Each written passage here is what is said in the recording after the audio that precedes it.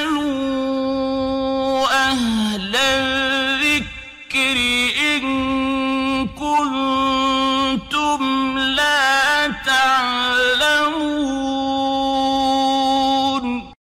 আসসালামু আলাইকুম রহমতুল্লাহি ওবরাকাত একজন দিনী বোন জানতে চেয়েছেন যে অনেক সময় দেখা যায় যে সাক্ষাৎ পাওয়ার পরে বিদায় বেলায় বলে যে আল্লাহ হাফেজ বা বা ফিয়ামানিলা ইত্যাদি এগুলি বলা যাবে কিনা একজন মুসলিম ধর্ম মুসলিমের দেখা সাক্ষাৎ হলে বিদায় বেলায় তারা যখন আলাদা হয়ে যায়, তখন সালাম দিয়ে তারা আলাদা হয়ে যাবে।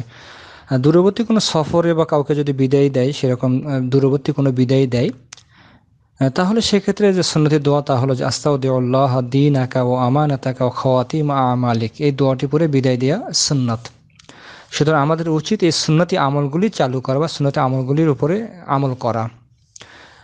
এখন আমাদের সমাজে প্রচলিত আছে যে বলে যে, ফি আমানিল্লাহ তারপরে আল্লাহ হাফেজ ইত্যাদি ইত্যাদি। এগুলি কে কেউ যদি নিয়মিত আমলে পরিণত করে নাই, শরীয়ত মনে করে, সুন্নত মনে করে যে এই সময় এটি বলতে হয়, তাহলে সেটা বেদাতের অন্তর্ভুক্ত হবে, সুন্নত বিরোধী আমল হবে।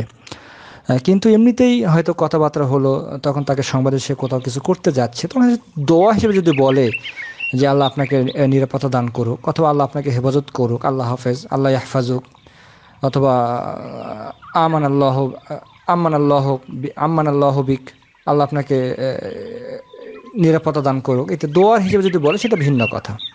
কিন্তু বিদায় বেলায় আলাদা হয়ে যাওয়ার সময় এটা বলতে হয়, ফি আমলে বলতে হয় বা আল্লাহ হাফেজ বলতে হয়, এটা শরীয়ত, এটা আমল, এটা বিধান নিয়মিত, এটা ঠিক নয়। এটা যদি কেউ করে, তাহলে সেটা বিদাতের অন্তর্ভুক্ত হবে। আশা করি স্পষ্ট। আসসালামু আলাইকুম রহমতুল্লাহ